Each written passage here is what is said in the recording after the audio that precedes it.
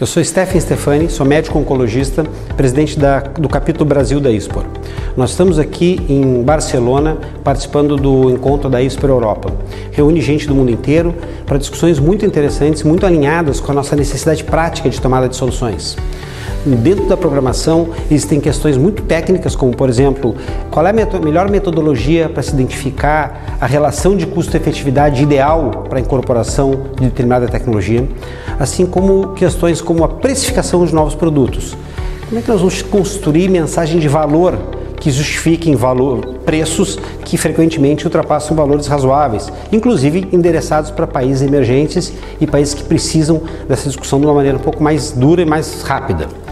Ao mesmo tempo, nós temos debates muito interessantes que serão ampliados posteriormente sobre biosimilares, uma ferramenta que frequentemente tem sido adotada como uma estratégia de redução de custo.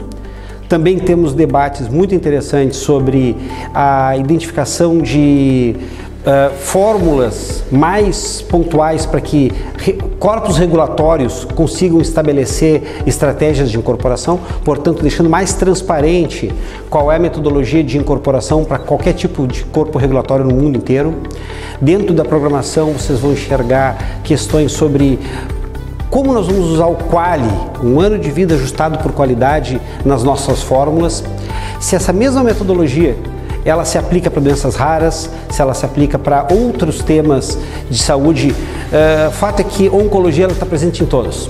Vocês vão enxergar câncer povoando toda a programação, desde pôsteres específicos e discussões específicas sobre doença, sobre doenças uh, anticorpos monoclonais, sobre imuno-oncologia como também como um, uma locomotiva nessa discussão, onde nós vamos ter doenças raras utilizando a mesma metodologia, nós vamos ter reumatologia pegando emprestado muito desses conceitos e outras áreas onde isso vai aumentar muito, a própria cardiologia, a própria gastroenterologia e a neuro. Uh, claramente tem vários overlaps na discussão, não só no método, como também em como utilizar esse método para construir uma solução prática.